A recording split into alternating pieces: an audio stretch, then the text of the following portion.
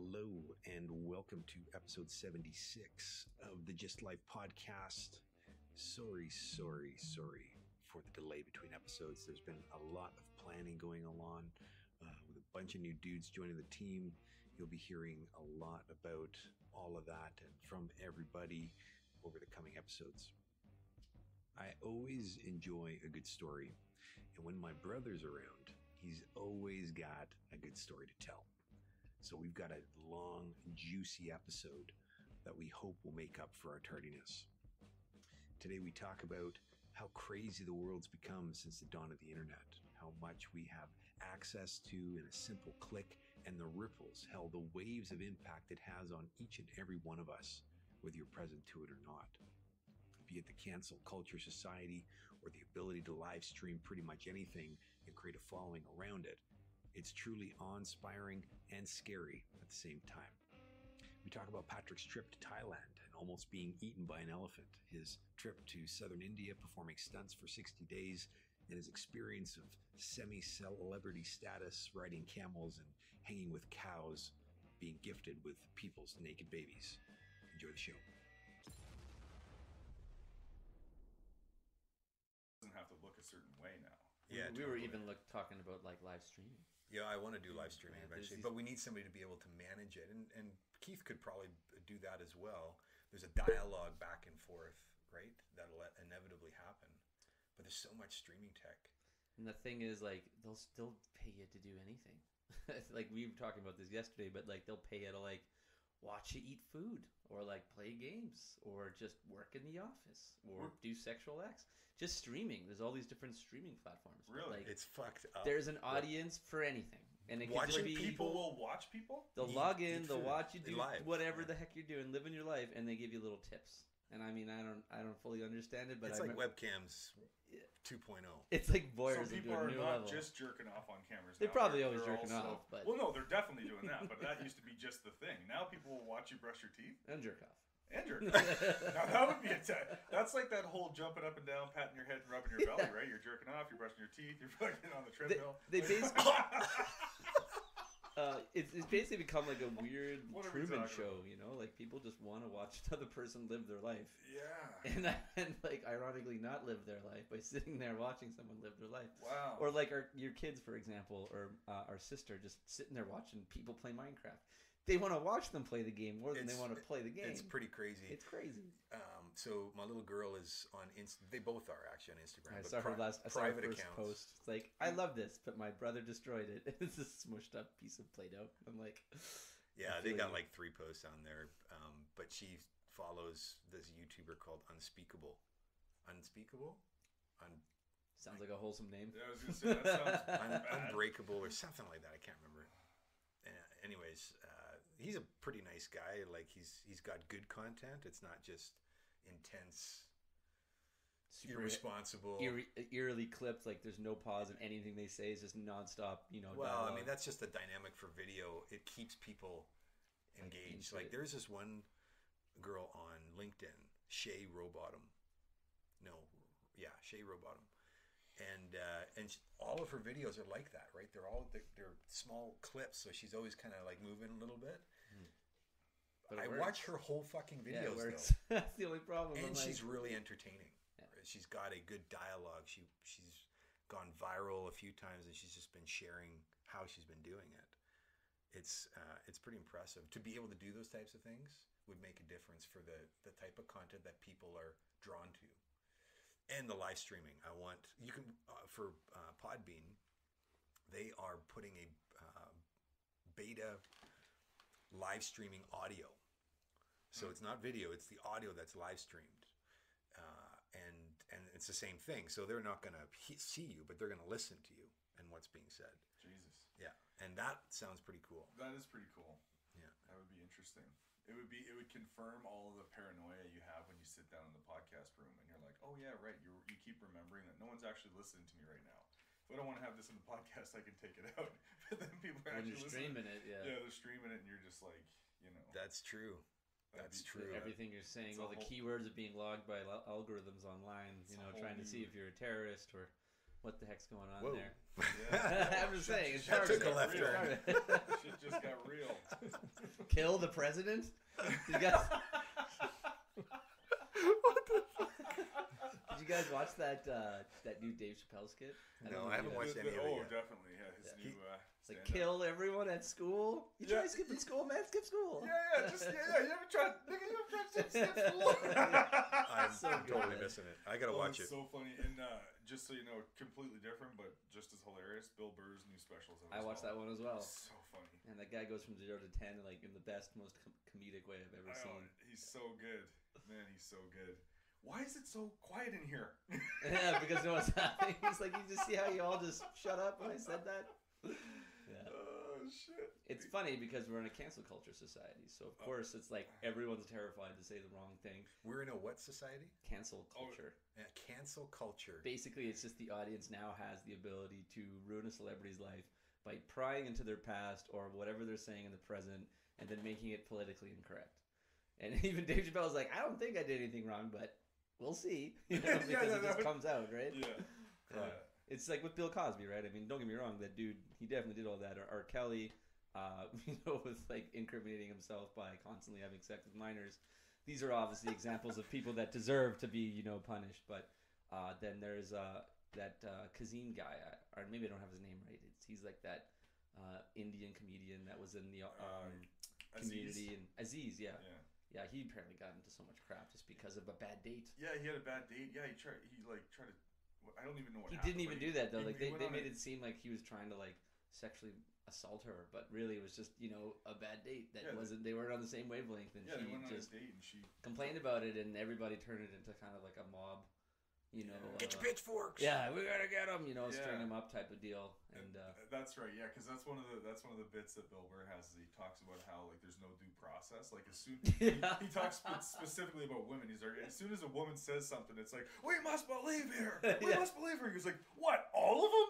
Like all of them? no one makes things up. Like, Star Wars, someone made that Yeah, up. yeah, yeah, yeah. You, you ever see That's so Star true. Wars? Yeah, Someone, someone made, made that, that up. Oh, that's so funny.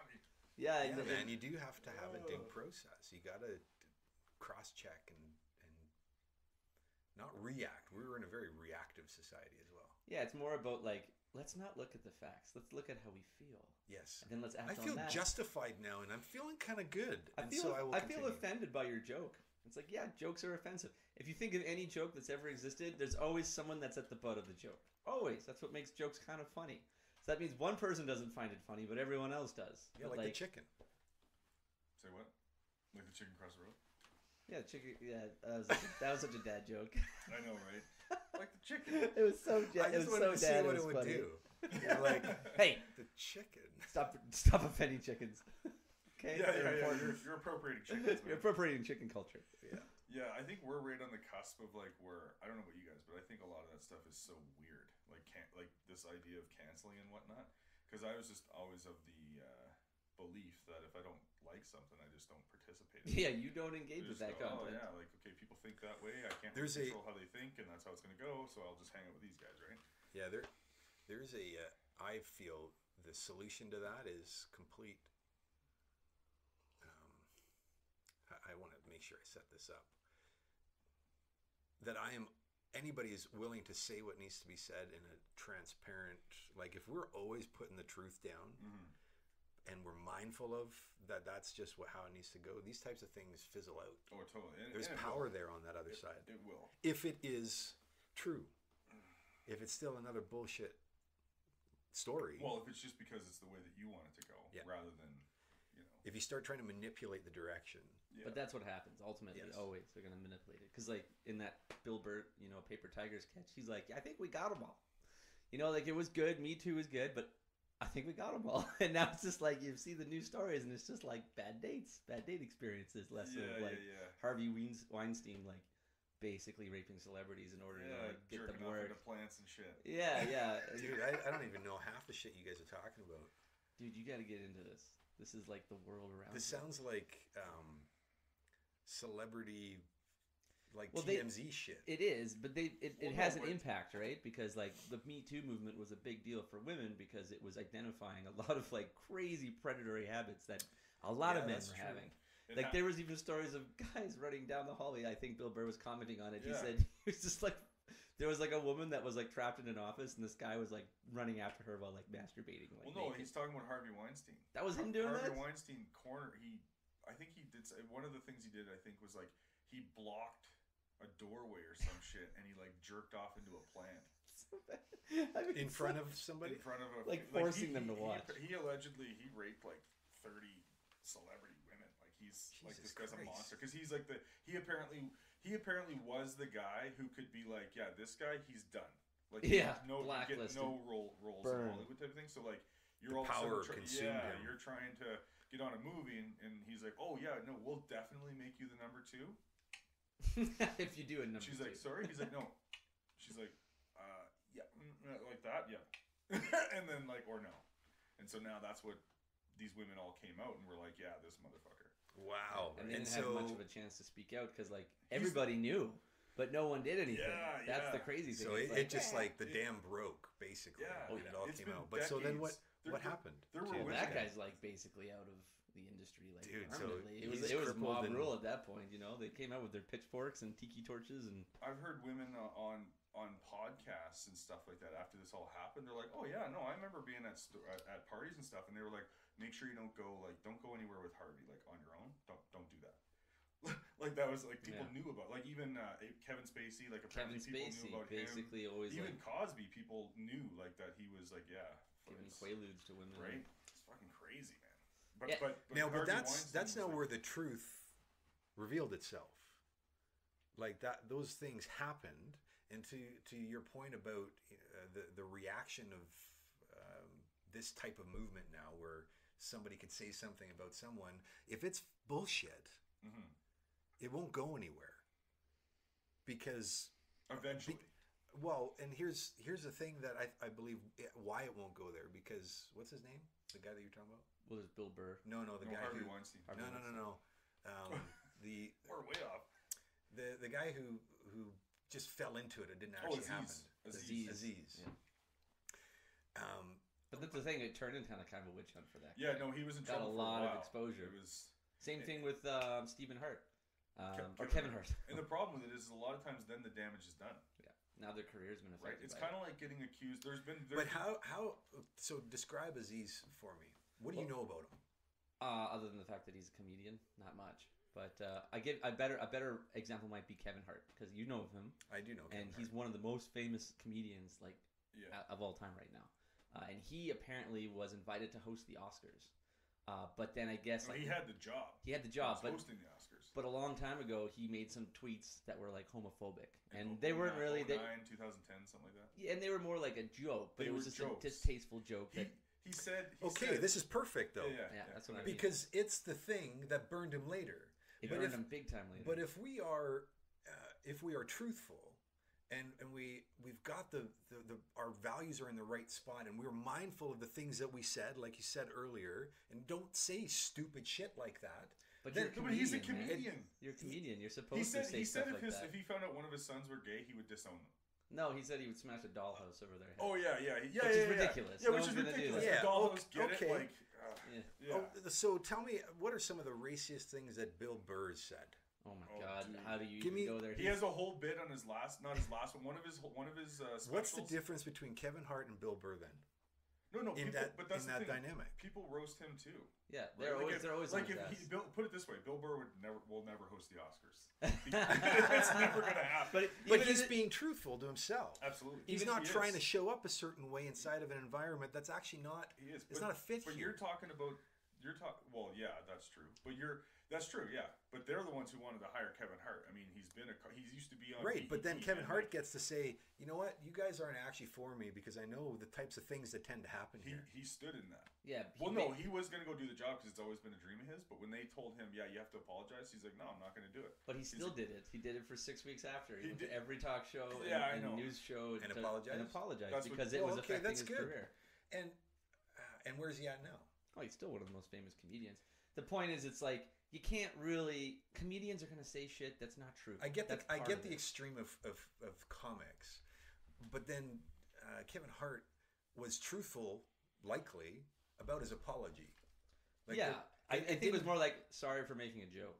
you know, it's kind of like well, and of if it ridiculous. is, well, but here's the thing: when you get called out, you get to be humble and accept the the reaction that that happened, like that it created. But it- You it was- get to own it. it was a disproportionate reaction because But it, that's the thing now with society. We got a disproportionate Yeah. reaction.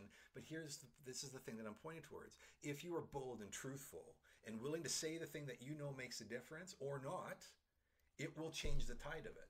And that's kind of why Dave Chappelle and Bill Burr are getting like so much heat and exposure, but they're like sort of standing on a platform like saying, "I'm going to say everything that you people don't want me to say because I see no reason why I shouldn't because it's kind of funny." And if you watch the stand-ups, there are offensive things that they say, but what they've done is they've made it funny. So there's a way in which they did it where you can appreciate the Yeah. the irony and the ridiculousness, Mhm. but we are not segregating and isolating and They're Yeah, making pointing at fun. one person. They're Yeah. making fun of the people who who punish you extremely for doing something minor, and they're actually making fun of the people who actually think this way. right. Like if you're racist or whatever, they're making fun of the racist. You're being person. They're not making completely- fun the exactly. Not on the their side. Okay, Yeah. that's great But because they're the- also kind of making fun of the other celebrities that just kind of went spineless and just, oh, I'm sorry. I'm Yeah, sorry. oh, yeah, right. sick. You're not allowed to joke about that. Like, they're making fun of everybody. they're putting on it. it on the table. Yeah. Bill Burr's been The saying Either- that- reality either, of what's either going on. all comedy's okay or none of it is. Yeah. You can't, like, you can't say that, you can't joke. Well, and it. it's freedom of speech and this whole thing, and it's awesome though. But it, it really points to it when you're trying to hide shit and and deny things, and you don't step up, you don't own it. Uh, man, it'll eat you alive, and and leave you to die.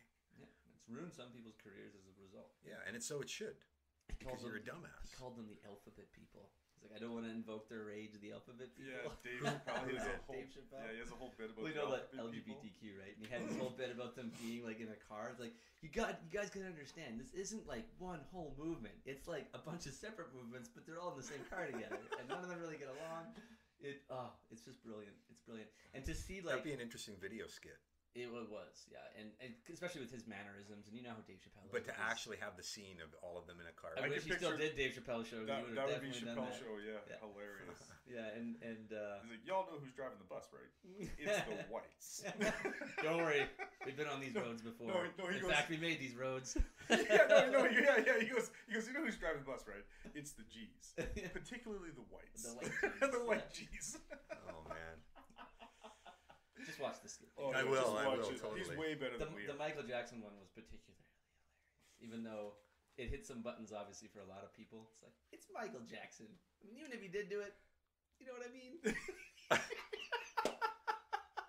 So- of course, he delivers it better. Oh, because- yeah. Well, that's his that's his thing. Oh that's what he my does. But the favorite thing I enjoyed So about it funny. was the reaction of like obviously the, the extreme left liberals and you know it's just a few people trying to convince everybody that we all think this way. And if you go on something like Rotten Tomatoes and you'd see the reviews on the Dave Chappelle uh, Sticks and Stones comedy, it was like first it was zero percent, zero. and then it went to like 22, 24 percent, but that's still like super low. And then you look at the audience score, which is basically the majority of anyone watching it, and it was at an unprecedented 99%. So you see this huge disparity in opinion, and it's just like, is this just a group of people that are trying to tell the rest of us what's okay, and that you know we shouldn't find that funny? It's insane. So you're kind of seeing it revealed for what it really But is. But this is the opportunity you get to yeah, say. No, hundred percent. You get to say. And so in disrupting the cultural stigmas and, and expectations and the way it's always been, and no, you never had a choice in it, now people get to say, No, no, this is this is why and this is what I'm gonna do and this is why I'm gonna do it. It's not just another reaction to it, it's justified and have a think about that. Or Yeah. not. That's not my deal. That's your thing. I mean, you know what happens to people when you tell them they can't do something. Most people don't like that. they, re- they they will do literally the thing that you just told them not to do. If only that were the case. Most of the time, people don't do fuck all. Well, come on, man. Like, think about. They don't. What about pirating?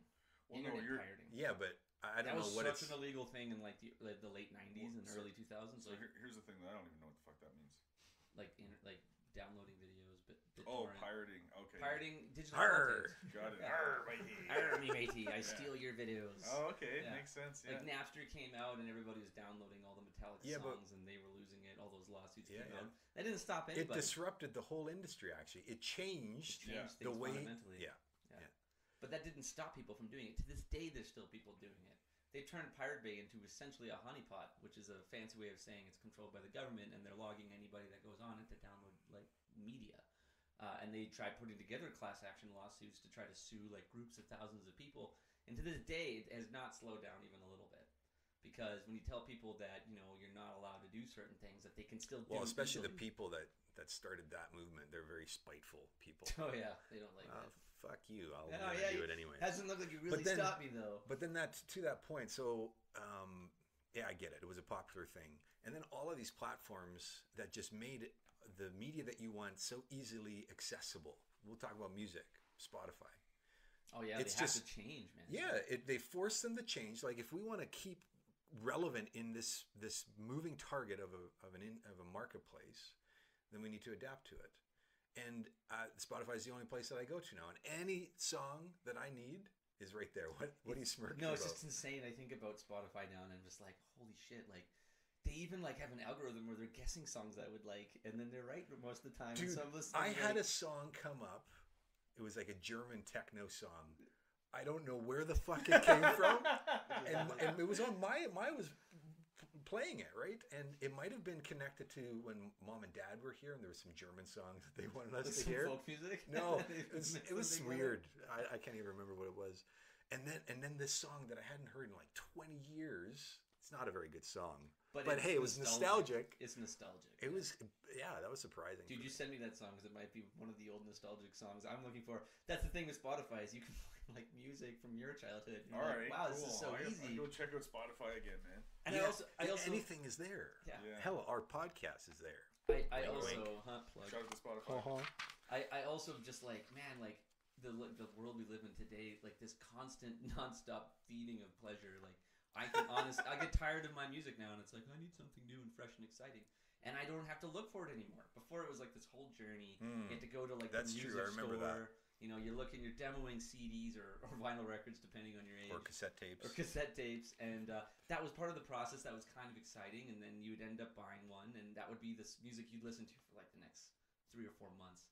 But now Spotify, it's like the minute you need like something new and fresh, it's like a click away. Or you, you hear you hear an ad or you you see that whatever on YouTube or something like Yeah. that. Then you can immediately go get oh that song's awesome. You can go get it right You away. go See, with right away. music, the one thing that's missing for me with music with Spotify, and I do use Spotify, Instrumentals. is I Yeah, liked know. I liked buying, like you pointed out one time, David pointed out to me, having something tangible. Hmm. Yeah. I liked It does miss that. that. And what I always, as a music guy, what I always liked doing was flipping over while I'm listening and seeing who produced, who engineered, who who like all the people in the background that put this together. You And would then do you- that. of course. And then you would see Mr. Engineer guy. all of a sudden there's music that you listen to and you're like oh i like this and i like this and i like this and you start bridging the gap that oh it's because it's the same group of people that are yeah. putting it together in the background but now on spotify it's just you have the song You don't also have the it does- internet, which is I basically was you can Google search the, the you Google can but most But it's not in one package. yeah it's not tight- right tightly there in front of presented. It's not the experience that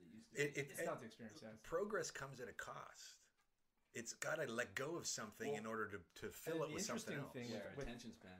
the interesting thing with time to worry about Spotify- is that the artists don't get paid They do. They get paid by how many people are listening. but it's to it. very But it's, minimal min- it's minuscule. and yeah. so so spotify is more like an advertising It's platform. uh, unintended consequences is a thing. But hold on a second here. Let's talk about that real quick because I, I never thought about this until the other day with uh, you know uh, you know I follow fighters and stuff like that on Instagram, and this one fighter, this girl Paige VanZant, she came out and said, "I get paid more for my Instagram following than I do in my UFC fights." what? Right? No, but check this out. Think about that. So think about that. The thing that I, I don't really have heard, heard haven't really heard people talk about this. So a lot of these celebrities who aren't getting the same record sales they used to get, so they have to go on tour and whatnot. Go check out the the number one pop star's Instagram following. She's they're making money in other places. Oh yeah, yeah, Oh, totally. Will right. Smith. That they never used to make money in. Yeah. And you know what I mean? He's on YouTube. He's on and- YouTube and Instagram just making his own videos. yeah. like- Right. So It's- it's, it's so That's weird to see because like you always look at those platforms and it's like for the common person you know the common man makes some sort of home video and puts it online for people's like you know entertainment but now you got celebrities dude But that's just it. It almost went the other way around. Like these people who way. are already celebrities saw over here, like Dave and Vern have like six million followers. They're like, wait a minute, I already have thirty million fans. How quick can I get a following? Let me Yeah. make a video. yeah Hey everybody, I'm on the movie. and then a bam, 150 million followers. I'm like, damn, I'm not even making movies anymore. I'm just gonna I'm do this. YouTube yeah, yeah, Right, dude, like, that's It's it's crazy. it- crazy world, man. That's the power of it, right? If if treated for good, and, and it's subjective, obviously, but man, you can make a difference. Do you know what my wife told me the other day? She's like, Ashton Kutcher, like actually legit. This sounds crazy. He probably has like a specific phone he uses, or maybe he only responds to certain ones. He actually put his phone number on his Instagram. He's like, yeah, you know, it's how I prefer to chat with my fans. So hit me up, shoot me a text. Really? Yeah, Phone must be dude. going off. Yes, and the then time. somebody was commenting and being like, yeah, no, like, I don't know if it's like you can't Hey, tell if it's actually him, but he says that. It could be a bot too, right? Just a voice algorithm that's just a robot sounding like. yeah, who Ashton the hell knows? Kutcher. He has shares in Google or whatever, right? so Oh he my probably God. testing that shit out. So you're Let's see if it works. He's a really nice we guy. totally just blew that right out of the water. Yeah. That's No, what I'm not know. taking anything away from him. Maybe that maybe he does. Who knows? Maybe maybe he spends a certain period of his time just responding to certain ones he finds compelling. That's you Like, know, who if the fuck that's knows? actually the case, if it's real, that's pretty impressive. No, I How think would that it would be be real, awesome. though? It's impossible. If you got millions of people calling you, how, how do you, you, how do you know it would be impossible? And He's not saying he's talking to all of them. Yeah, he's just no. saying he's talking to them. Hmm. He's not saying he's talking to all of them. It's funny how he went there, right? He's talking to all of his fans on his phone. Uh uh That's just how Like- I see phone conversations. It's like you know, if someone wants your attention, you only have your ability to give your attention to one person at a time. Unless it's some massive group chat where he's just like talking to a thousand. Yeah, I mean, I don't know how how how he would do it, how he would manage it. Oh, the, who, who's his wife again? Is it? Uh, Um, I mean, uh, what I don't know how to say her name. She's from that '70s show. Yeah, it's kinda Mina- funny. It was Mina like- it was, uh. I can't the say two her. characters they played and that were dating kind of ended up. Yeah, being- yeah, yeah. It's like Amelia Dunce or something. But uh, there was this funny YouTube video that they put up because you know those trash articles like Enquirer or T, uh, not TMZ, but the people that make those phony news articles about celebrities. Or saying- even those magazines and shit that come out. Ugh, yeah, and the Safeway, and, and they had those for forever. Uh, there was one saying that their relationship was in trouble, Yeah, and then think I this saw whole this video. bullcrap article made about it. And he's driving in the car with her, and he's just like, "Oh, is our marriage in trouble, honey?" And they're just like going through every bullet point and sort of debunking it in real time. Yeah. Which, like, there's obviously people that read that trash and think it's real. It's like, Oh, "Oh, this oh, is my source of I can't believe. Queen Elizabeth did that. Oh my god, what a slut! What a slut. But then you got these actual, you got the actual actors like on a public forum addressing all these people and just basically showing that it's all lies, Yeah, which then has to impact that Oh, company's I business, would, right? I would think. that's your phone. Oh no, it's your phone, Mr. Patrick. Just, uh, Mr. just Patrick. press the little stop button. Who is it? Jade. Nope, don't answer. I don't know how to do this. Oh, there we go. Just press. Is this going to be an edit for the podcast or what? Can Jake, we, uh, answer. Oh my god. ah, she'll never listen to this shit. Can you, um, I mean, I meant that in a very respectful way. dude? You're you're you're making a very compelling argument. Oh god. Let's just do that. Oh my god. she's a- She's a treasure. Jeez, it treasure. sounds like it. Sounds like a real sweetie.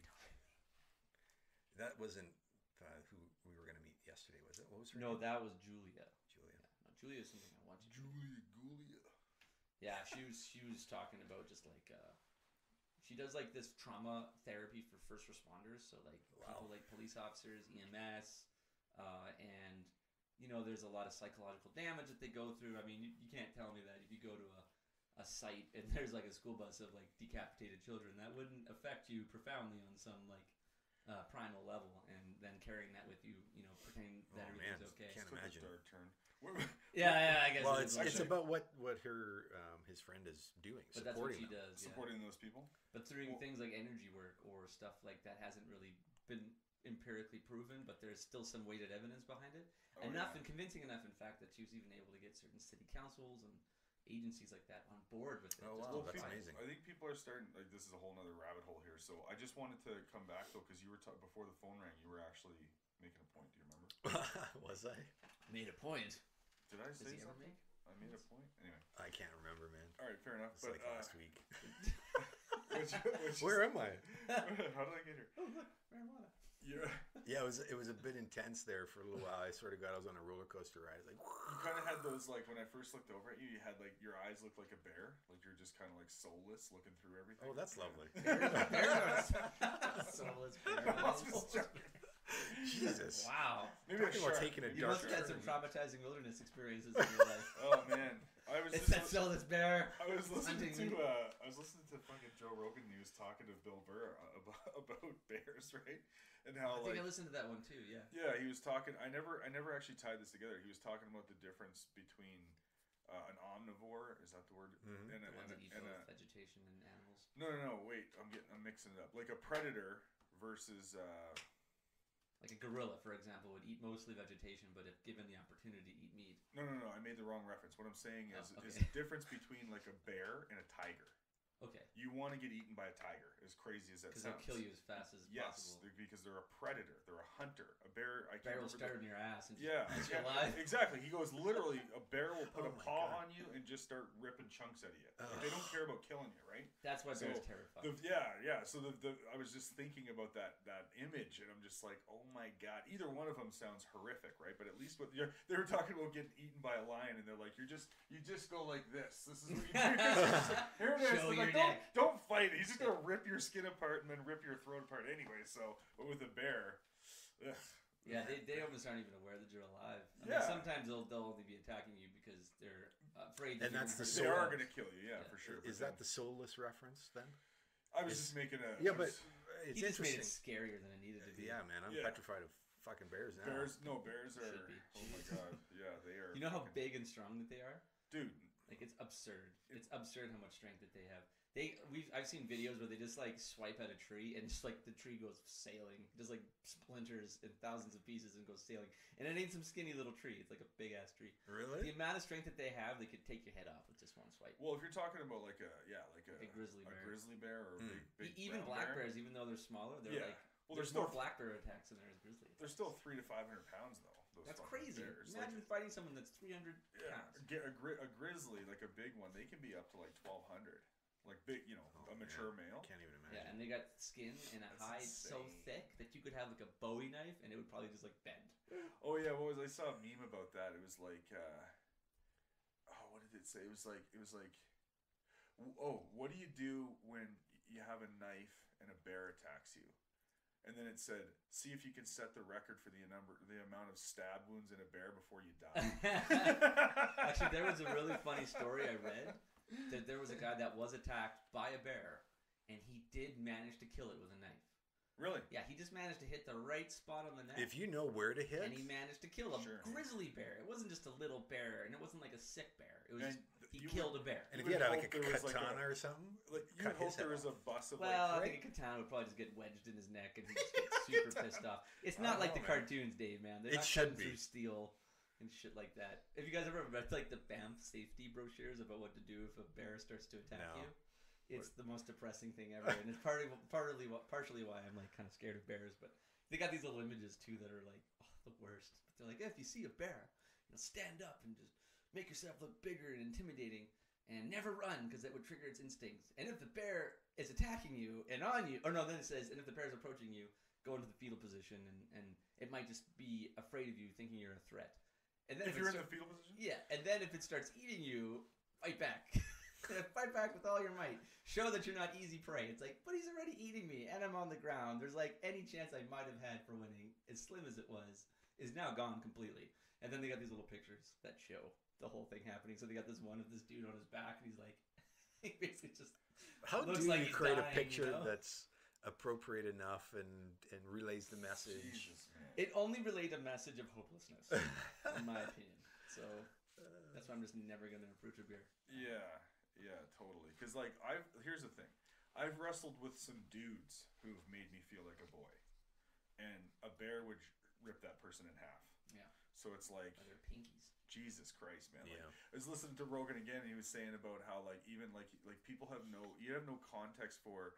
Uh, he goes, I, I- he goes, I love uh, the elephants were cool. He was talking about his whole trip to Thailand or whatever. He was like, but he's like, I wouldn't ride him. Like, he's talking about how the elephant wrapped its trunk around a tree and pulled it out by the root Yeah, that's crazy. and started eating it.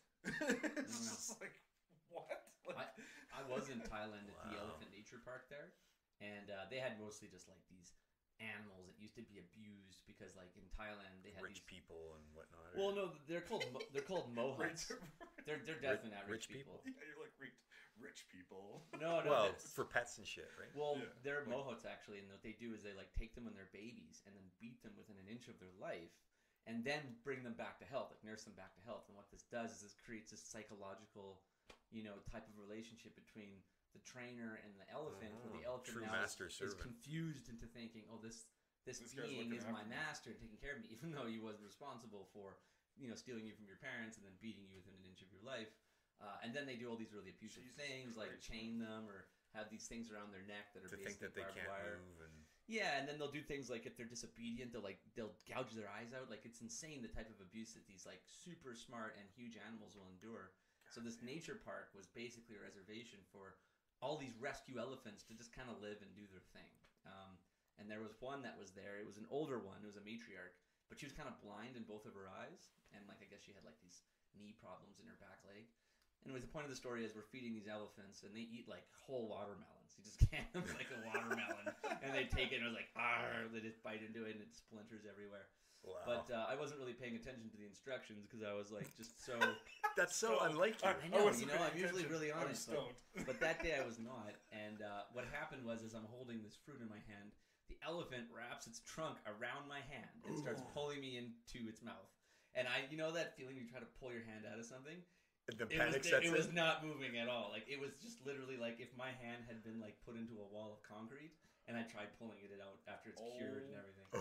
But the insane thing was like after a few seconds of this terrifying experience, uh, the elephant. I don't know. It like I don't know if it saw me, but I did see its eyes. And if you've ever seen an elephant's eyes, they're weird. Because you know how we have whites in our eyes, theirs are, are all black. They're all black, so it's kind of creepy. But I saw its like eyes open, and it was like, "Huh?" and then just let me go. That's And it, it was aware that it was like it had my hand and not just the fruit, and I was like, oh, you know, because that was that was kind of scary. Insane. Yeah. Wow. And, and then they walk towards you, right? Because they you just walk out there in the open field with them, and they uh, walk towards you, and, and it's terrifying because they'll walk around you, and you'll be like, and they start getting they start getting in there, and you know you, you could get wedged by these things, and they just smush you. oh yeah. It's not That's amazing. Yeah, what an it's insane. experience. Holy shit. It was pretty cool, yeah. So Yeah. you, you were out there for 60 days, yeah?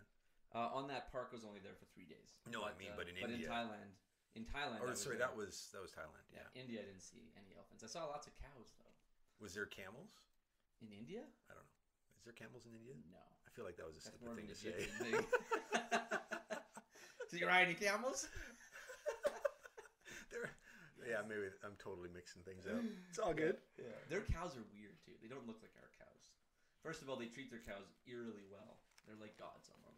I saw a cow walk. They treat them as pets. Yeah, they, well, but pets that have free range to do whatever they want. It's like your friend that has that totally misbehaved dog, and it just jumps on people, and they're like, "Ah, isn't he cute?" You know, and they don't respect any boundaries. Jesus. There was cows, massive cows, just walking into grocery stores and just like grabbed a bag of chips and walked out of there. And the the, the clerk is like, "Hey, yeah." you can't stop him or something. It was insane. Yeah, I won't get into that though. That's we're really off topic. I think Uh, there hasn't been a topic. there has. I Yeah, feel like we've there a just jumped from all over the place Yeah. here. We Talking were, about we were just doing an ad lib type. Yeah, like we. Yeah, dude. We just need to chill, I'm not. I'm not. not be so intentional. And Well, let me tell you about India then, boys, because India. I don't know if you've ever planning on going. what are we there. at for time? We're Hard technically at about 58, but we probably started, I don't know, 15 in, 10, What a- 15 in. What about actual time? So I would probably say. No, I mean like what's the Oh, what's the actual time? Well, you know, if I uh, do some science. there we go. Quarter after 10. Quarter after ten. Yeah, I say we we gab on for maybe another half hour. We're not going to do any edit today, anyways, because I got my kid's birthday. Uh, so And we'll how gab old are on they now? Like eight, eight. eight years. This is where we need to like cue the applause music. Yeah. We need, we need one of those guys that does sound effects and shit. Dude, I have a, like I have an entire directory of sound effects of like something crazy, like 900 sound effects clips. But they're free ones, so they're really cheesy. Like be one dude. How Yay. how would that work? How does that work? Speaking, I know I'm kind of off a little bit, but still saying. But speaking of sound effects, it was really cool. I went to Studio Bell here this Mm. past week, first time I haven't been, and they have a room, and I can't remember what the name of this device was back in the 1920s when they had uh, uh, soundless movies. Uh, they had a guy basically a, or it's like an organ with all the switches and and poles and everything, and then it's a whole room of all different pipes drums, uh, glockenspiel, everything. And this guy would sit there and he'd go, "What I would, what what they would do in the 1920s is a movie would be there. You wouldn't have any time with it. You'd have just notes. So scene one is about this long, and play something whimsical." And, play something whimsical. That's you know Huh. that's what it is. So they, they'd sit there and they would make it up as they go, but pulling different levers, making different sound effects, different. You'd have to know things. that machine so intimately. You doesn't know what whimsical sounds like because I have no idea. Touche, man, touche. I don't even know. So one that movie. was a bit whimsical. So one movie would be different than the next, then, right? Uh, because it depends on who's playing the. That's kind of how it went, though. Right? It was like these. Yeah, I remember. And back that. in 1920, they said this was sold for ten thousand dollars in 1920. So would it be worth now? And it only lasted a few years because, like, I think they said five or six years later, sound and film came out. Hmm. So they just Because they spent all this money on this thing and They- they, and can't they use just it anymore. They're it. like, uh, They a lot of it just got turfed. So the one that's at the Studio Bell came out of a, a theater in C- in Washington State, was purchased by someone, fixed it up, and then it got sold to someone else who was practicing their organ, fitted in their house in their garage, like cut out their walls so they could hear, you know, everything, and then it got donated to Studio Bell. But just different techno. Like you look Hmm. at it today, going, now it's just like. Movie theaters, the guy he sets everything up and everything. Just here you go, it's done. And he watches the movie. Can I comment on the fact that it's kind of like we allowed to swear on this podcast? Yes. It's fucked that somebody was able to figure out a sound that you don't normally hear in nature that elicits an emotion from a human being. Okay, because when you watch these horror movies and they have that like eerie Oh, music that- in the background, where the shit did that come from? When actual things are scaring me, like I'm in the woods or like walking alone at night, I'm not hearing in the background like, you know, like none of that stuff's happening. So, but I'm still feeling terror. But now I'm watching a horror movie and some guy just has this weird sound in the back, and it's just making What it about worse. the what about the Jason fucking? Ch- ch- like Yeah. what the fuck is that? Who thought of Where did this? that come from? like when somehow like some See, here's one for you humans to will try. think this is scary. Here's one for you to It try is. next time. Watch Jaws and turn the volume off or mute it. You're basically watching Shark Week. It's not that scary. But it's it's that dude, dude, dude, dude. It creates yeah, yeah. anticipation, Tension, yeah. anxiety. What's Yeah, going to yeah. happen? Something's going to happen. Boom. It's amazing what Yeah. sound does to us. Yeah, yeah, yeah. There was yeah. even one I remember I was with my friend in the movie theater, and you know how you're like kind of outside the movie theater, maybe the movie's over or you're about to go into yours, but there's other movies that are playing. And there was one movie that was playing that just had like this music Yeah. that was in the background, and it was like it just kept building and it kept repeating itself, and it was just like intriguing. It it, it elicited a feeling of like curiosity, but like sort of like um a foreboding curiosity. I was like, what is this? What is this? It was like this. I have to know. But I don't want to know. But I don't want to go. No. Yeah. And then my other friend came out. and She's like, "What's that music? I have to know." It's almost like this universal. Did you go check it out? No. Aw. It was some movie. I don't remember what movie it was, but it was just like it wasn't our movie. So I So feel like where this conversation's going, we should get more high. I haven't gotten high at all. This is bullshit. Just got some Well, you- creamless coffee. You were uh, Stormtrooper mug. you were late. You don't smoke inside your house, do you? Yeah, we do. You don't. Wakefield does it. Yeah, he Well, actually contacted Oh my me god, that guy like. Oh yeah, for what? just to like say hi, what's up? Well, he hasn't contacted us. I know. I gotta text that. That was a while ago, to be fair. To be fair. I don't have my tools. Uh, I got a guy that's running a production company in Calgary. He's just like, I don't know what the deal is, but he runs a parkour gym there slash gymnasium. He took all of his money and he invested it in this production company where he wants to make action videos and stuff. I have no idea what the markup on that is. I can't Wow. imagine it's very much. Um, but obviously that's my jam. You know, that's what I want to be involved in. And he just sent me a message. I think he was one of the other guys that called me uh, and interrupted the podcast. So I'm excited to see where that goes. Cause totally, man. More work. That's right? awesome. Yeah, dude. Yeah, we were saying, or, or uh, David was telling me, I didn't realize you made all your own videos, so they're like they're pretty. I'm, I try, man, but it's like I ain't good at it, and it's all cell phone footage. But there's some people that make videos for me, and then you can see the difference in production quality. well, yeah, It's of course, nuts. but let's not go there. We don't. I don't have to have a conversation with you about you not being good at it. Compared to what, I'm lousy. Right? Like I- you're not. You're not fucking making a Stallone movie, bro. I'm trying to You're make a Stallone. Movie. No, I movie. get that, but you're on a cell phone and you're putting a video together that's compelling enough to have somebody watch it. The funny thing was Right? when I made one of these videos, we were in India in the amusement park where we had the stunt contract, and these guys, it's like it's like no one's in charge in India. That's the craziest thing. It's like no one is in charge. So things just happen randomly, and no one seems to be able to do anything about it.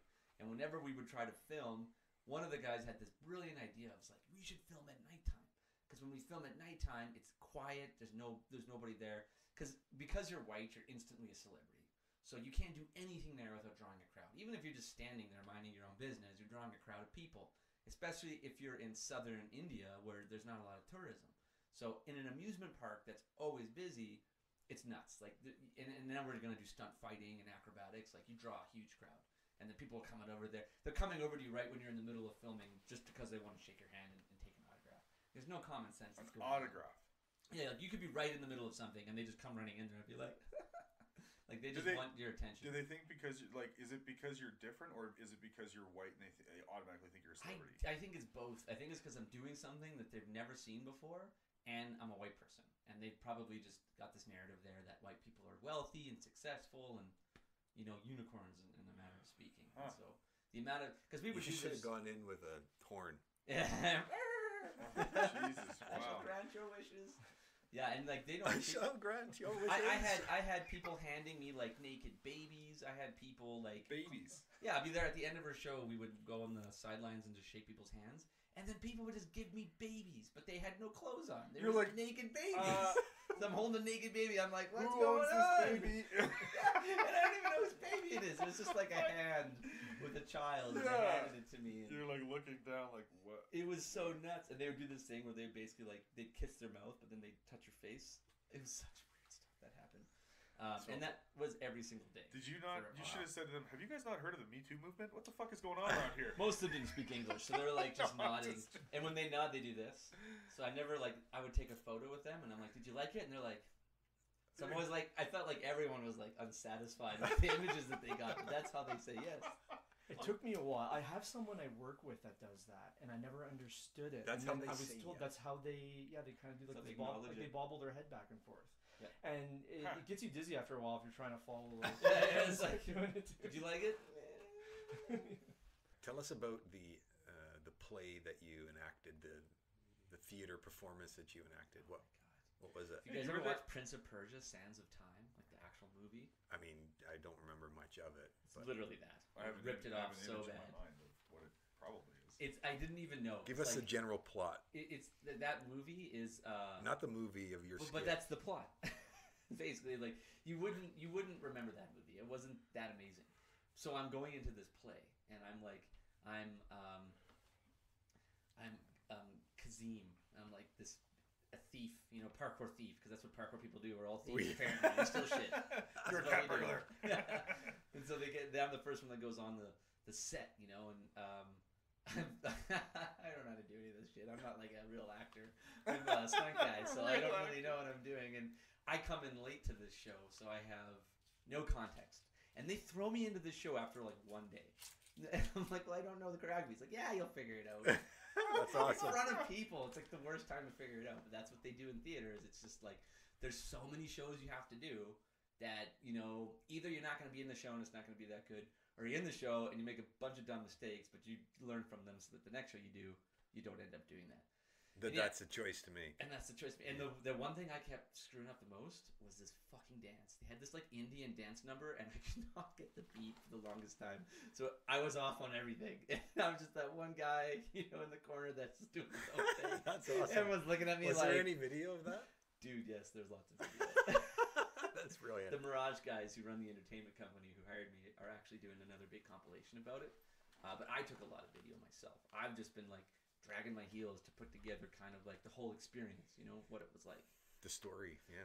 The story is So, based, the so, story is based so you're like, a thief, parkour thief a parkour thief who wields dual axes that he never Beautiful. uses for some reason. that he never uses. I never get to use it. In fact, anytime I have a weapon, something happens, and then I fight with my bare hands. So I don't even know what the deal is. But it's like they never really work that part into the play. But I go on there, and it's kind of I do all this pointless shit. Like I'm on top of this building, and I like fall down on top of this like table and looking around, you know, because there's music playing to this as well, and I'm trying to synchronize it. And then there's this like action moment where it's kind of like a beat, and so I do a front flip off the table, and then all the people in the background are like, "Ooh." They've never seen that, I guess. I don't know. And uh, then I call my friend over, and she's like the other evil doer, and uh, her name is Roxanne, and she's she's my friend Lorraine plays her, and she's like a pretty built power lifter, you know, so she's kind of like a super muscular girl, and they've never seen that shit either because normally it's it's a very conservative society, right? So she comes out. No lifting weights allowed. Yeah, she's yeah, no lifting weights. allowed.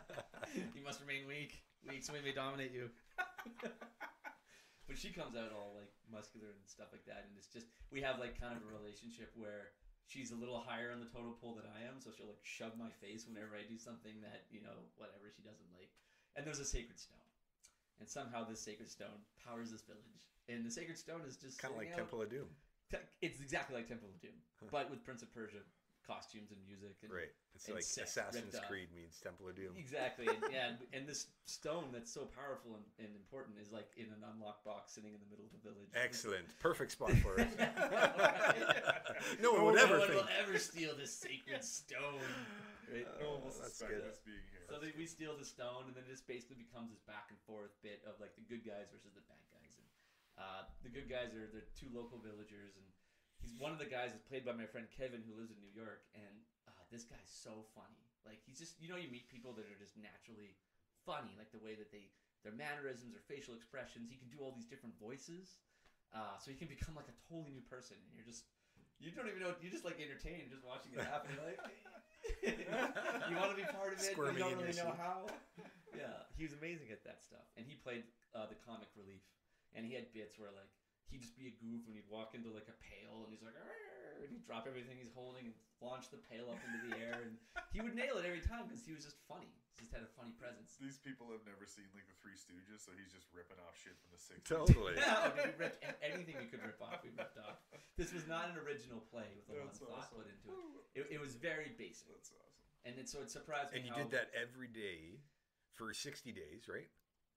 Like not the full 60 days. Not full because I was late. I came in late, but I basically had to work twice as hard to catch up with everybody because everybody had all this. Was it seven days that you did that show? Yeah, dude, it was longer, way longer than that. I had to do it five times or four times a day, every day, except for the Oh, weekends where I had to do it five times, and it was nonstop until I was there until I left. And the weather was like in the morning, our first show, well, the afternoon, it was like plus forty out. And I'd like I'd step out there, and I, I was wearing a whole costume. Like what I'm wearing now is kind of what I was wearing, like a sweater Jesus. and a shirt with like long baggy pants. I'm like, are you kidding me? I gotta go out and I gotta do sword fighting and acrobatics and shit while You wearing did that this for like how many days? basically around 24 days. So and how how long was the play? Each play was about 30 minutes, and and they really Wow. they really um gave you the right amount of time because the minute you're out there and the sun's on you, it's like you have like sorry I keep moving this. You have like two minutes before you have no energy left because it just sucks it out of you, and it's also just really humid. So totally. you're sweating, but you're not even really sweating your own sweat. It's just the moisture in the air, which causes you to sweat even more. So you're just and none of this stuff's wicking off of you. So you're just kind of like So you're just perpetually you're wet. just like this giant ball of sweat, right? And it's like Jesus. you'd see my costume like before I would go in, and then see it after, and it's just like drenched in my sweat. I never touched any water that whole show. In fact, I was rolling around in the sand, so I should be even drier. But I was just just my color of my costume turned to like a darker blue. I go in light blue, and it's like I'm out dark blue. You know, like the whole thing is just so. Wow, that's so what, what was the? Give me a breakdown of your day. Like, what does one day look like? Well, I would wake up in the morning and it would be it would be just like freezing cold in my room because the air conditioners are all broken. So either they don't work or they just turn on to full volume, you know, full max output. So you're just like, and they don't give you a blanket; they give you like a dinner table cloth. You, like a, you have like a yeah, like a dinner table cloth. A And that's what you're wrapping yourself in is something this thick. And so I'm just like, I'm like freezing in my room. And then I go outside. I'm like, ah, like it's you're going from like such extreme temperatures that it it honestly just takes a toll on your body. No It's kidding. amazing. Yeah. Just going freezing cold to super hot. And uh, yeah, I'd wake up and I'd do my stretches, and then I would head towards uh, the set location, and I always have to walk because they kind of just opened up the doors at this time. Because we go out and sorry, we get our food first. Uh, there's always like the same food, so it was, that was the other hard thing about working in India. It's like, do you like chicken and rice? Because you're gonna eat it every day, two times a day until you leave. And if you complain about it, we'll make it worse. We'll put mint in your rice. now you have minty rice, chicken rice. Wow. It was rough. Every now and then they'd make us better food, like especially the breakfast was the only time we had good food. They had like made this thing called Bombay toast, which is like their version of pancakes, and Then we'd have eggs, and they'd make these paratha, you know, grilled cheese sandwiches. In fact, they would make food sometimes that you were like, "Do you think this is just what an American person would want to eat?" Because they got Wonder Bread, and they put a bunch of weird fruit on it, but then they slathered it in mayonnaise. Just give it to us, like that's what we would eat. We just want fucking mayonnaise and all of our shit. Fruit's good too. There's sugar in there. Throw fruit, mayonnaise, white bread. Here you go. Eat this. And I'm like, oh, I couldn't even bite it. I'm like, "Just not gonna I'm that. good. I'm good.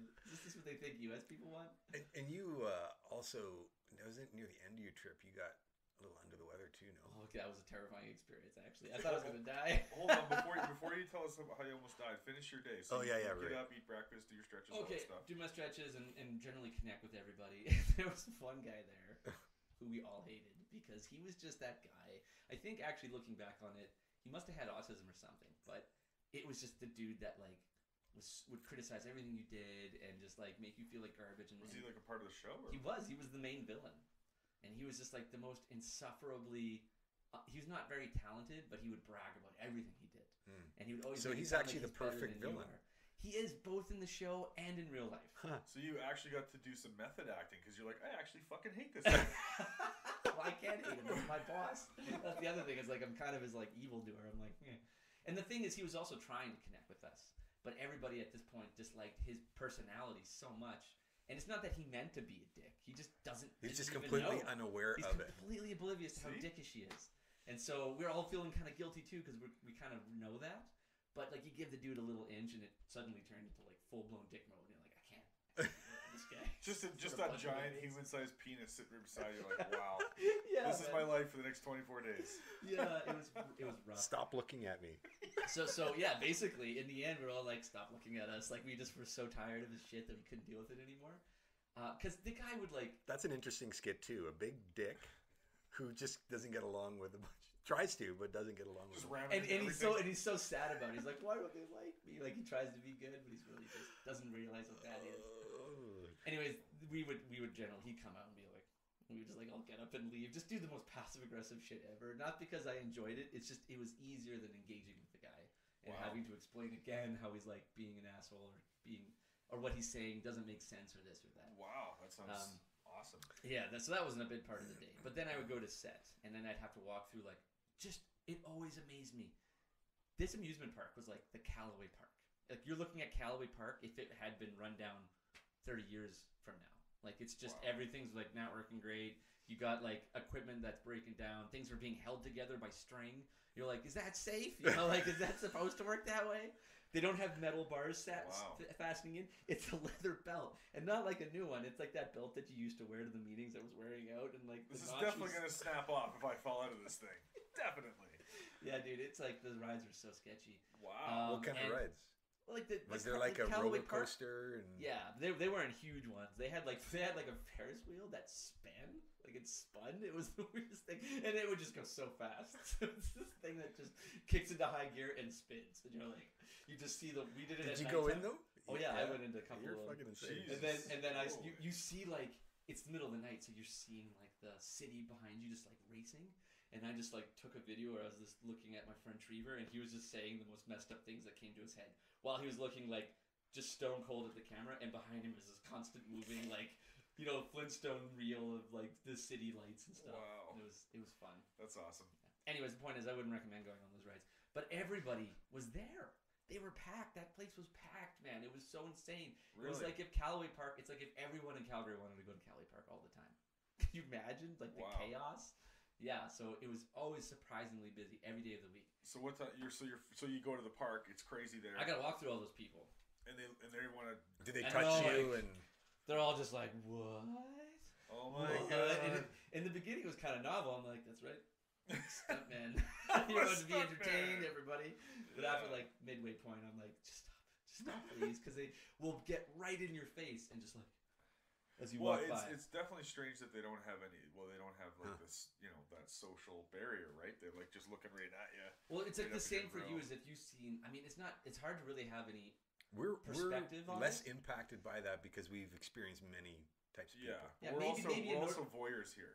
Yeah, yeah, we We'll watch. like- We pay each other to watch them eat creeping like over like like that rather than. I than wish I got a picture of that. being right in people's faces. And, and Oh, that's the thing, right? Like, uh, what's what is like a perspective that we could have? Because imagine just a person. It would be like if we saw an indigenous tribesman walking through downtown Calgary. Yeah, Calgary, he's got like a loincloth. and he's just wearing a spear, loincloth like- with a spear, and he's got that Huh. stuff in his face, and you'd be like, you'd just be kind of like, what?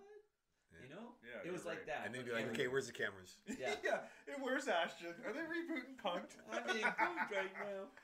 Yeah, we would have, and so sometimes you just, even if you were chilling for a few minutes, you'd have people come up to you wanting to take your photo and stuff.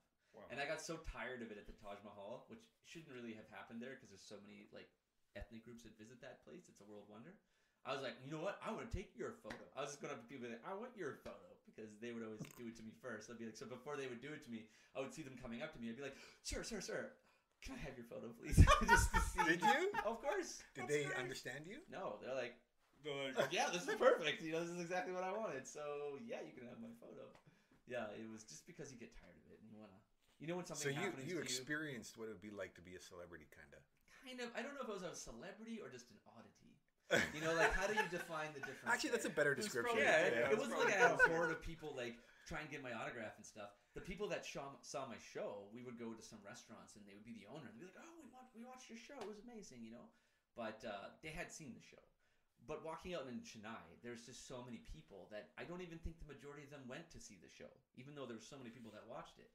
So they are just seeing me as a white dude. They have no context of what I do or who I am, Mhm. and they're like, you know. So I must have just been like a bizarre, you know, like an oddity thing, like Yeah, totally. like woman, bearded woman type of deal. Yeah, yeah, yeah. maybe that's Um, what they thought you were. Oh my God, is that kind of yeah? I'm not even gonna say it. It'll probably be racist. so that's my experience, you know, like doing that. I got to walk through all those people every day to get to the set location, and um, Oh my and so God. then you gotta you gotta cope with that. You're like, okay, now I have to walk and be gawked at the whole time I go to set. That's you know? And uh, then I get to set, and I'm the pyrotechnician as well. This is actually something I was stoked on. We had this thing called a dragon's tooth, and it would just shoot a spire of fire like crazy, crazy high. We got it as high as like 20 feet. It was nuts. It was so unsafe. Everything was so unsafe in this place. I'm just like, this set could have burned down. And the only reason I was okay with it was the stunt coordinator was a guy from the U.S. and he's worked with like Chuck Norris and Steven Seagal, and he's done a lot of B movie action stuff. So like he's done all this. He knows how it works. In fact, when he was showing me some of my stunts that like terrified the shit out of me, he's like, "I'll do it first. And this is like a sixty-year-old man who's like hundred pounds overweight, who has like What? every bad habit under the sun, and he just he just does it because he's I don't know. He just it- knows. he just knows he's done so much of it, and it instilled so much confidence in me, being like, "Well, if an old man can do this, obviously I can do this." Wow, like what kind of bad habits? Well, he said he's he said he did like every drug ever when he was younger, and he just he doesn't do it now. But it's like he doesn't even drink water. He was like saying, "I just can't drink water," as he's sipping a Coca Cola in India, where there's like forty my. degree, I and he's sixty years old. So I'm surprised like, he's not dead yet. yeah, I'm like, and no even he was like, "I'm surprised I'm not dead yet." I'm like, okay, good attitude. At least you're aware of it. Yeah. And I, but I love Red. He's an awesome guy, and he taught me a lot. He was a great mentor. That's no, that sounds awesome. Like you definitely want a sixty-year-old overweight man doing the stunt in front of you and successfully And just walking away like it's Yeah, you're nothing. like, oh, like, I'm definitely doing this now. And the funny thing is, because the one stunt I'm referring to is this ladder gag, where I basically have to climb this massive ladder at the end of the show, where I'm like trying to pursue them. How the high stunt. was it? Like. It, it 15 was like feet? 15, 20 feet, you know, so it's high off the ground. Yeah. Uh, and it's it's not like you know the ladders we use at Home Depot, where they're like, And they're kind of. Yeah, it's this a is like a metal ladder. ladder. Oh. It is like something from the pirate era, so it's just like You're going Moving and like, shuck, shuck, wobbling and- shuck, shuck, and it's sitting on top of a balcony that's just plywood. So the balcony's moving while the whole ladder's moving, the whole oh, set's Oh, freaking dear. moving. Like you know, you're kind of like, I hope this stays together and doesn't just fall apart. And so I got to go to the top of the ladder, and then Kevin, the comedic relief guy, he punches me in the face, and then he like pushes the ladder. He kicks it. Like in the beginning, he just pushed the ladder. Uh, and we had to be comfortable with this because I'd have to go up there, and I needed him to tell me I was good. Because if he pushed me before I had my hands on, I would just fall, to, you know, to my back or whatever. Oh So he God. pushes me, and in the background behind the kind of fruit cart is uh it looks like kind of a box, a big bunch of boxes and crates, but it's actually a porta pit. It's like a crash pad. So um, you just hit the crash pad. And so once you get over the the adrenaline of like falling blindly backwards into like what seems like a building, then you just uh, hit the crash pad and you're okay. And the only thing you have to worry about is like your whiplash because your head will always whip back, so you kind of always have to engage these muscles. Um, but the experience was, was hard because you go up there and, Yeah, you're like, yeah, totally. and you're also doing it for a crowd, so you have to act right. Like Yeah. you have to look at them and be like, "Ah," like you have to make it look like it's a big comedy skit. And then and later we started refining it so that um, he would punch me in the face, and then he would like push the ladder out just to a point where I'm balancing, like just in the center.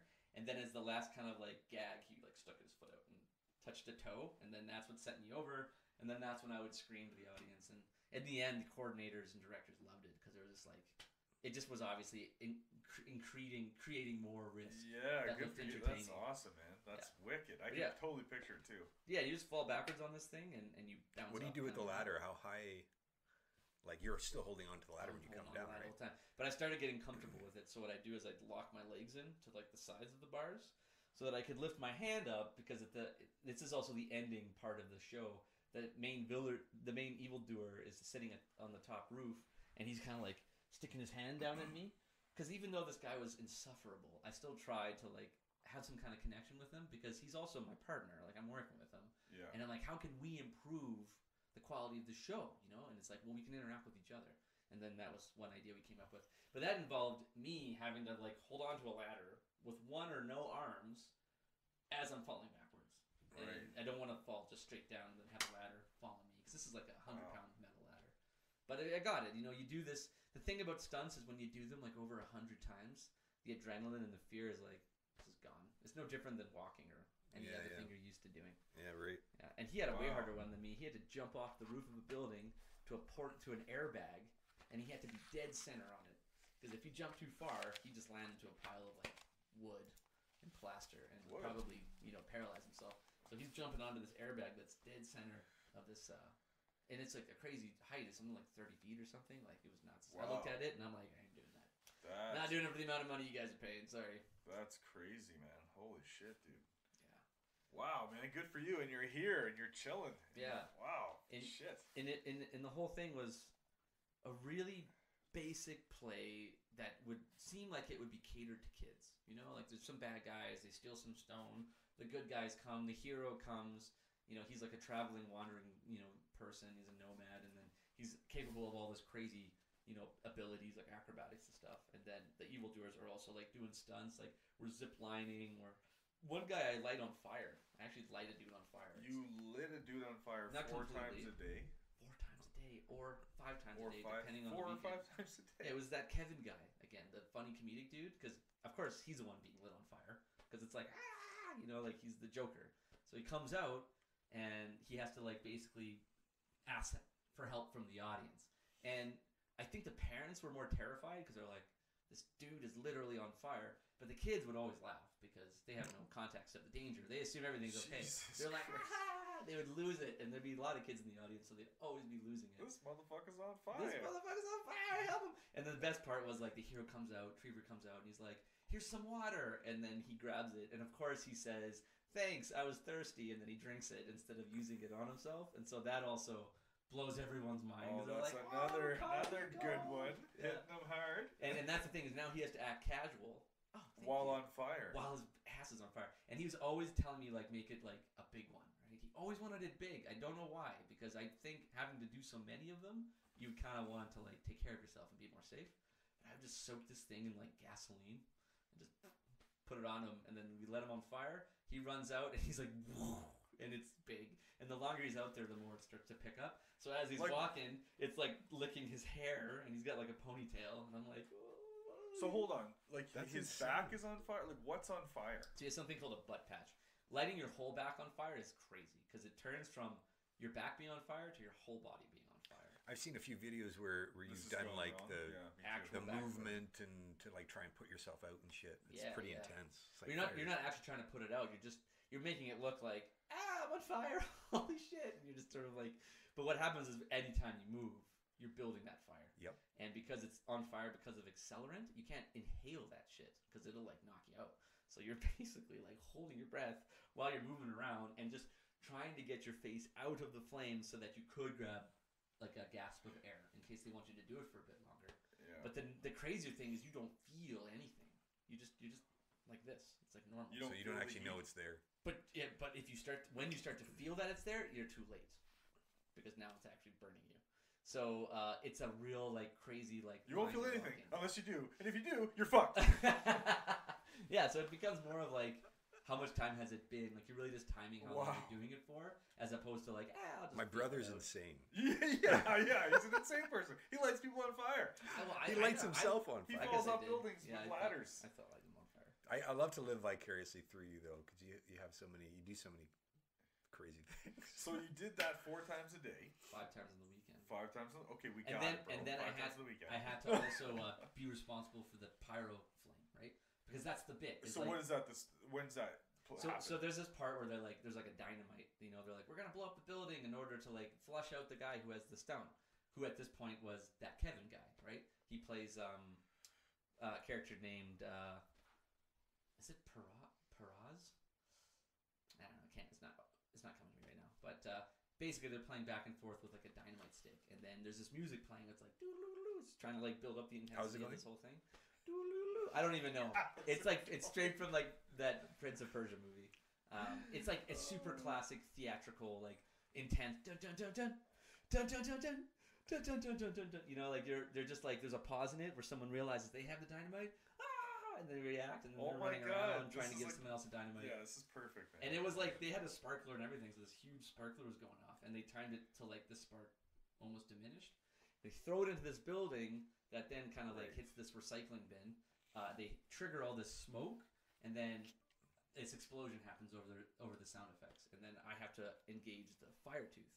But it was such a stressful experience because sometimes it just wouldn't work. So many things just wouldn't work at this play. We'd have like rolling power outages. So like right in the middle of our dance number, it's like boom, there's no sound, there's nothing, and we're like, you know, sometimes we didn't even remember our dialogue, so we're just like, I don't remember what to say or do now. Like it was crazy, and then everyone's Jesus, just watching you still, like, continue. yeah, yeah, yeah. They don't notice the Yeah, music and- ends and, and- all lights are out. Like eh, But that's the thing is like in the city they had this all the time. It wasn't just the theme park; it was the city. So the rides would all be out. So everybody's like oh upside Oh down. God. And so what are they doing? They're looking at the play because Okay, now there's nothing else to look at, right? what you're describing sounds like the skit. Totally. right, people. It I can picture that. You're like upside down on some ride. You're like, oh man, what are they doing over there? I mean, what else are you gonna do? Talk about how you're not moving? No, this sucks. Yeah, you can only do that for oh so oh my long.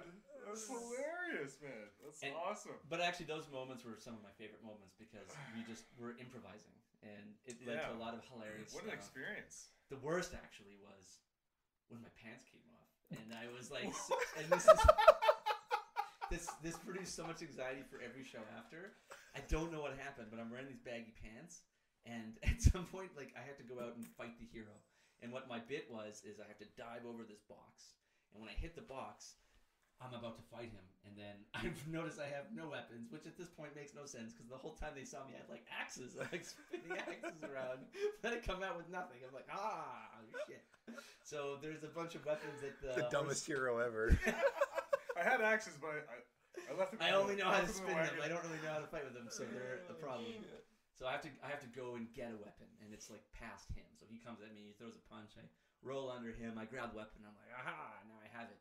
Well, at the part where I'm facing him, this is what I realized: my pants were falling down. they were like, because you know that feeling you get, you're like, uh oh. You try to spread your legs. That's exactly what I did. Yeah, I spread my legs as wide as I could, but that meant I couldn't do any of my stunts. Because if I roll, that's my pants right off. Like I'm gonna roll. you should have just rolled with it. I know it's Yeah. like flat of my pants.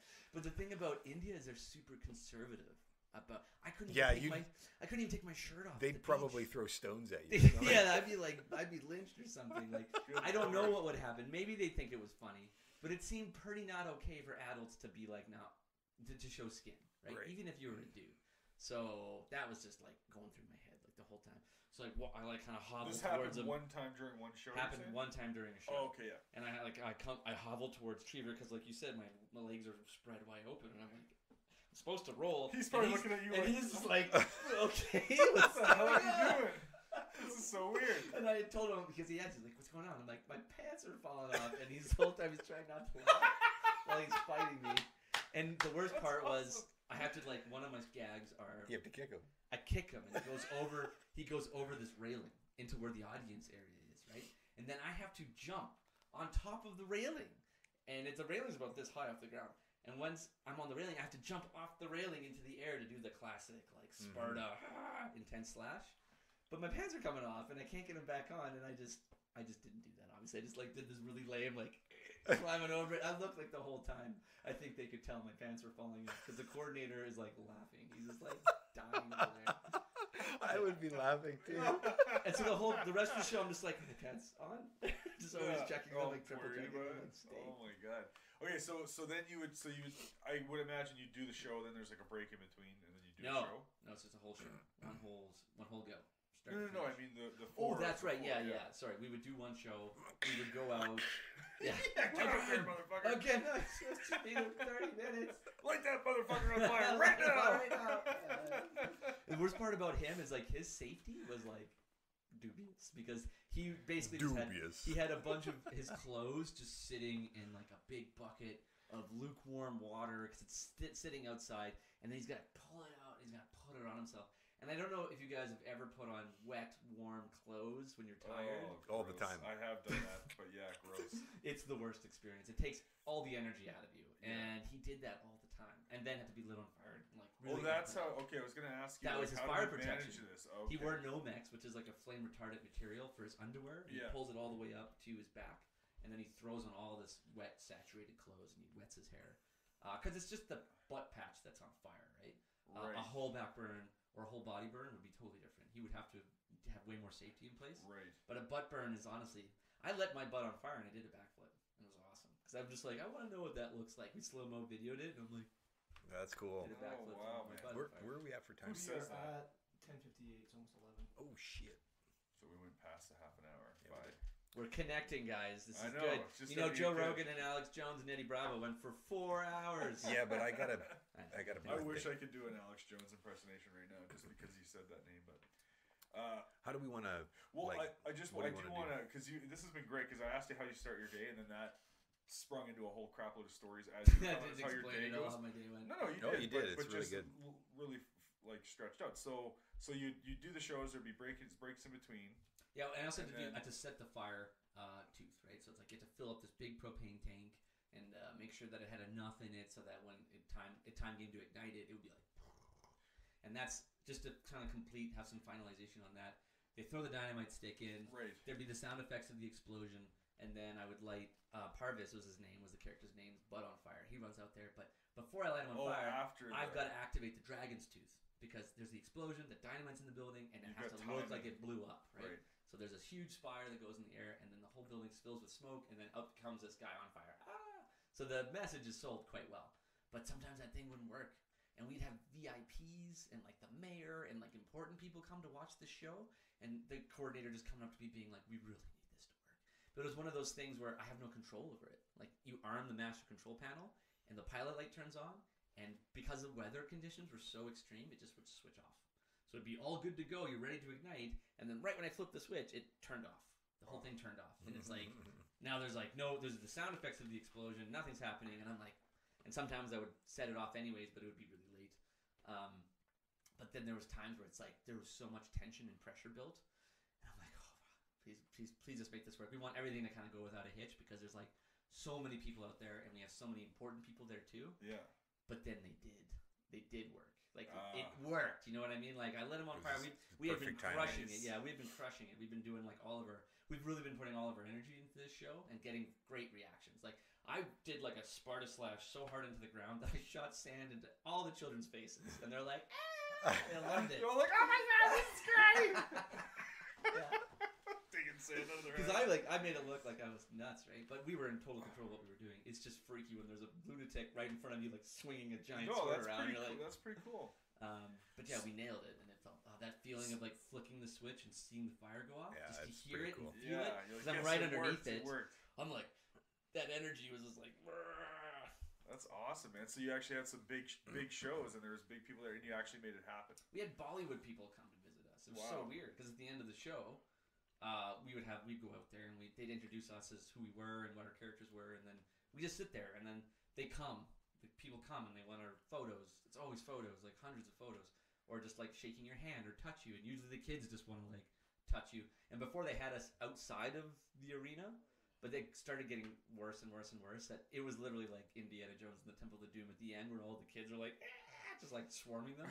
it was pretty much that, only it was fully grown people, and we're like being pushed Wow. against bars. So we'd have to stand behind the bars and That then is shake their hands. crazy. We had Bollywood people come. I had no idea who this guy is, but he had a huge entourage, cameras, everything, Wow. taking photos, and he's like making it look like he's gonna kill me. Like he's like shaking my hand. He's got his fist like in my face, and I'm like, cool. I hope this doesn't make me look bad.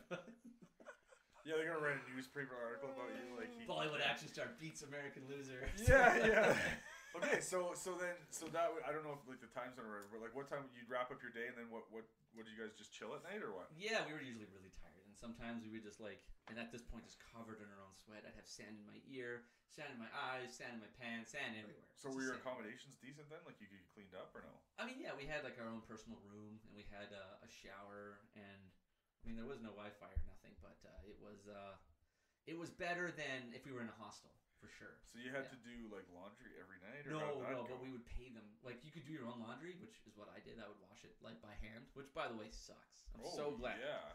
I'm so glad for laundry machines because having to do that, just take your dirty underwear and be like, just like have to wash it in a big vat of gray water. Like, eh, I wasn't a fan. But um, yeah, most of the time you're taking care of your own stuff, and then we would go to like in the mornings we go to the convenience stores and stock up on stuff that we would want just for ourselves. But at the end of the show, we would go back. We generally have dinner. If the dinner was chicken and rice, which ninety percent of the time it was, we would go out usually to a restaurant uh, who people had watched our show and then gave us free stuff, which was always nice. Deadly. Um, but then we didn't really go out and do anything because it's not like it's the place you go out and do that, right? Because it's so hot. Even at nighttime, it's just like it, you're just never not sweating. You're just always sweating all the time. You just Wow. get used to it. So on one hand, this sounds like a trip of a lifetime. It was like deadly, and on the other hand, I'm like, wow, It's No, like, it was I'd rather hard, do man. anything else. Yeah, it, it was hard. totally, totally. It's like man, the experiences were fresh and unique and exciting, but also really hard. Yeah. You're just like I don't want to do another one of these shows. So Buddy had to get dressed too in those wet clothes very quick. Hey. what do you mean? Well, Which oh, when you're you're. Oh yeah, you're doing he's like throwing it on him, and I'm just kind Wow. of waiting for him. Right, I'm, I'm doing the master control switch stuff for the fire tooth as well. So I have some things I'm doing, but honestly, my involvement in the show was is was the most minimal because I showed up so late. But then the the director, the guy that put it all together, he said originally he wanted me to be the hero, and I saw what the hero had to do. I'm so glad that wasn't me because I don't think I could have done that. I don't think I literally had enough energy to like do that safely because he was like doing shit all the time. Wow. wow. nuts. Yeah, That's I- I, crazy. was so Crazy. glad. So uh, we may as well put this in because I know we're going to wrap it up here. But uh, you are for hire, correct? I am. Yes, Optimo Movement is a stunt agency, and we do, uh, you know, independent film and hopefully more, uh, you know, union film because union film is awesome. Where can people find you? Um, that's the problem right now is there's really no online. He's hidden. Yeah, like to He's get to get if people stunt work, wanted to find you. the stunt list. I would suppose Instagram would be the best way. Yeah. yeah. I blinkered Biggie or just Facebook with my name, Patrick Schmeichel. Sorry, what's your what's your Blinkered uh, Biggie. Blinkered Biggie. Yeah, I I thought I heard that right. I was just like, It is. It's like a. It's like a sort of English slang. It means like floating poop. I'm like, ah! I'm like that'll be my username, and if people get it, awesome. And no one gets it. No one. no Except now it everybody will. They think I've made Blink Red big. I'm like, no. ah, I can see why you think that though, but. Awesome. Blinkered well, hire Biggie. I had, Patrick, I had uh, no idea. If you're if you like to have those big like you got a bar mitzvah or a birthday or uh, something crazy like that, hire Patrick. Maybe no, no, I don't do those shows. Yeah, Yeah, yeah, doesn't sure. know talking You about. wouldn't do that. You wouldn't I go and don't do some flips and burn yourself at a bar mitzvah. Come on, bro. Trying to get you some work here, brother. What did you get out of the episode? Like, what was your experience? Oh, it's always just fun connecting with you guys. And you're great listeners. You listen. It's like you know you get that feeling that there's like that There's a little ebb connection going flow. on. Yeah, an ebb and flow. Like you're listening to what I have to say. You let it finish, and then you have this meaningful comment to add to it. Right? This, I've listened to podcasts now where it's just like people talking over each other. It was, yeah, it it was drives me nuts. and they're popular. I'm like, I don't even know what either of them are saying because there's no respect of like listening and then you know contributing. So every time I do this with you guys, it's great, and we always go off on crazy topics. And you guys like hearing my stories, I assume. So I like that. Uh, shit. Yeah, I love hearing your Yeah, your stories. your stories are stories are great. amazing. I, that's what I love about the conversations and, mm. and to dig deep and, and to meet new people. That's why we do this. Thanks, man. Yeah, so that was episode 77. Enjoy the rest of your day, whatever you're doing, wherever you are. Peace. Shoot us a like, shoot